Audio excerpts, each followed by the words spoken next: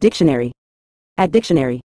In a general sense, acclimated refers to the state of having successfully adjusted or adapted to a new environment, climate, or situation. When someone or something is acclimated, it means they have become familiar with and can function effectively in the conditions, temperatures, or challenges presented by their surroundings. This process often involves getting used to changes or challenges that might have initially caused discomfort or difficulty. For instance, an individual who has moved to a high-altitude location may become acclimated to the lower oxygen levels over time. Similarly, a plant can become acclimated to different soil conditions. Acclimation is about achieving a level of comfort and proficiency in a new environment or situation through gradual adjustment.